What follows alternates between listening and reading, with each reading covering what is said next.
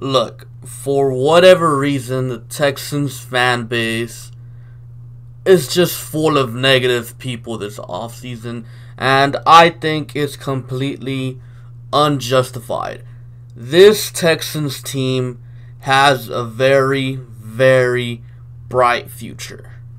And don't get it wrong, this isn't me trying to get everyone to be happy and positive all the time about the Texans because believe me, I hate the overly positive Texans fans just as much as I hate the overly negative Texans fans.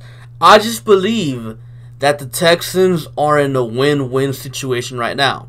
Let me explain that. Look, either the Texans with Bill O'Brien, they either go out there and they perform well, they reach the AFC Championship game, they go to new heights, which is what we all want, right? We want the Texans to reach new heights. We want them to get better, to be one of those elite teams.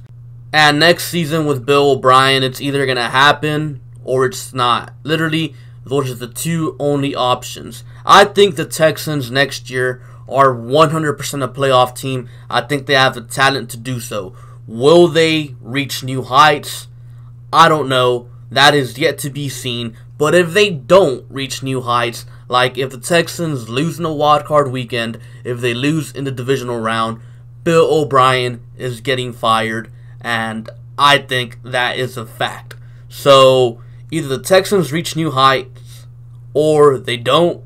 If they do, we're all happy because the Texans did something they've never done before. And if they don't, if the Texans don't reach new heights, Bill O'Brien ends up getting fired. And that's what pretty much a lot of the fan base wants. I'd say about 85% of the fan base is completely done with Bill O'Brien and they're overly negative. They criticize every single move. But this team has a bright future. Like I said, why? Because if Bill O'Brien gets fired, the Texans coaching job is 100% the hottest job on the market. Meaning, the best coach out there that we could possibly get will be coming to Houston. Whether you think that's Jim Harbaugh, whether you think that's Eric Bieniemy, or Mike Wazowski. I don't know, whoever you think is the best head coach candidate available out there to be the head coach for the Houston Texans. Whoever you think it is, that guy is most likely going to be interested in the Texans head coaching job. Why? Just look at the team. This team is young. They have talent pretty much everywhere. Literally, I mean, let's start off with Deshaun. We know who Deshaun is. I mean, what coach out there wouldn't want to coach Deshaun Watson? They're coming into a situation where there's already a quarterback in place. You know, Deshaun Watson is for sure gonna be our starting quarterback. He's our franchise quarterback. He's already in place, so the head coach already knows well, you know, I don't got to worry about finding a franchise quarterback. For example, say, I don't know, the head coach for the Bills gets fired and then Bill O'Brien gets fired. What job is going to be more attractive? The one with Deshaun Watson, which you pretty much at this point can already know that you got your franchise quarterback, or the one with Josh Allen, who is pretty much a bust. Obviously, the Texans' job is the most attractive one. And then your wide receiver group. You got DeAndre Hopkins, the best wide receiver in the NFL. You got a legitimate deep threat in Will Fuller, even though he can't stay healthy, but still, you still have him there. You have a very good young slot receiver in Keke Coutee. You got Jordan Thomas and Kahale Warring two very young tight ends that both of them have a bunch of potential. So you pretty much already have your weapons in place. You don't really got to touch anything. And then the O line. Yes, the O line is troublesome, but you got two young, talented, raw offensive tackles to work with in Tytus Howard and Max Scharping.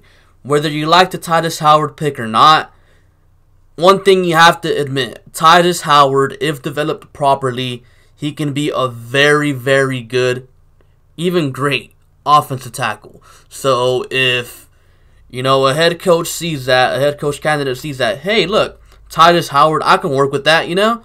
Like that's gonna make the job more attractive because he got pieces in place on the O line. You got Zach Fulton, who is a good guard. You got Martinas Rankin, who's also young.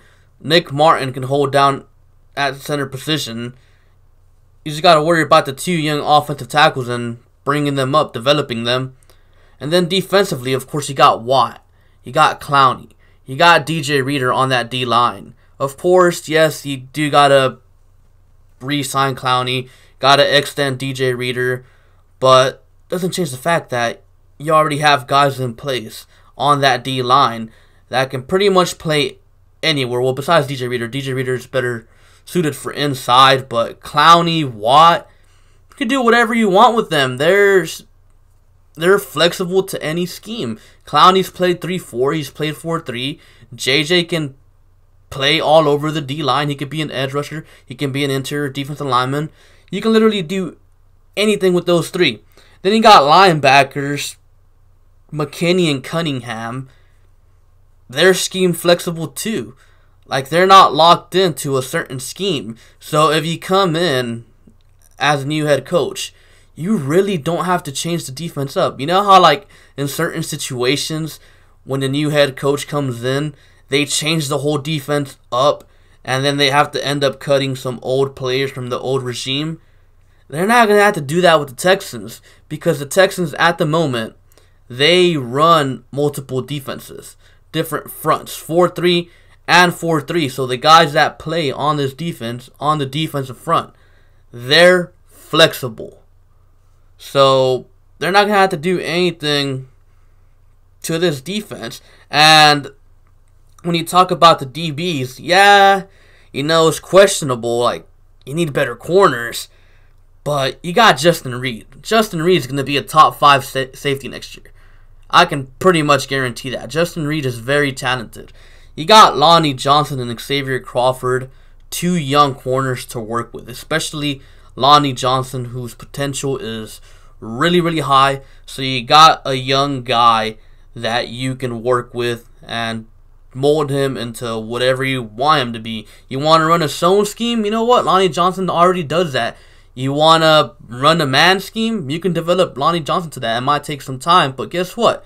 Romeo Crennel might have did you a favor because he probably already developed Lonnie Johnson as a man corner the previous year, which would be this year. And then you have a bunch of cap space to work with. I don't know the exact number, but I believe like at the moment the Texans are projected to have 80 million cap. Of course, you gotta factor in Clowney contract, DJ Reader extension, and like Nick Martin extension, depending how Nick Martin does, you'll probably end up with somewhere around, I don't know, put it at 40. But then you consider that you also have another 40 currently sitting here right now that you can roll over to next year. Then you're looking at 80 million cap. If hey, if the new head coach that comes in here wants to spend that money, like however he wants, he wants to bring in high priced free agents, he can do that. You know, he's got all the cap space in the world. He he can do anything. So he would definitely be more attracted to it because he could bring whatever players he wants in free agency. And then of course we have all of our draft picks and some more as well due to the Tyrann Mathieu comp pick. And I believe we're going to be getting one for Kendall Lamm as well. Maybe even one for Christian Covington. Yeah, they're probably both going to be seventh round picks, but that gives you room to make trades. And of course, uh, the Tyrann Mathieu comp pick. It's going to be a third round pick. So he's got a bunch of picks. He's going to have a bunch of cap space. He has a great nucleus to build on. Like, literally, the Texans right now, the way they are right now, is very similar to the Denver Broncos from a few years ago. John Fox built this crazy good team. Crazy good. They were never able to get over the hump. Never. Like, they made the Super Bowl, yeah, they made it once, but they got completely smacked around and embarrassed. The Broncos weren't able to win the Super Bowl with John Fox, so he got fired. And then they hired Gary Kubiak and Wade Phillips, and what happens?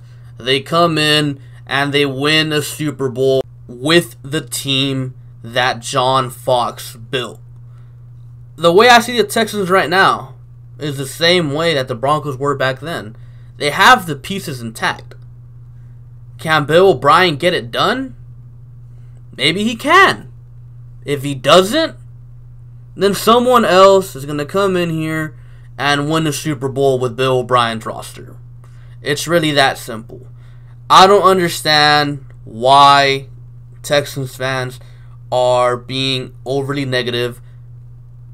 This team has a bright future regardless of Bill O'Brien because Bill O'Brien could possibly be gone after this year. And if he's gone, well, guess what? Like I said earlier, head coaches from all over the place are going to be lining up to take this Houston job just because everything's right there for them. They don't have to work for nothing, they don't have to build nothing. It's all pretty much going to be there for them. So, yeah. Stop being negative. This Texans team has a very bright future, regardless of Bill O'Brien or not. Anyways, that's all I have for you guys for today. Be sure to like, comment, and subscribe. Thank you for watching, and I'll catch you guys later. Peace.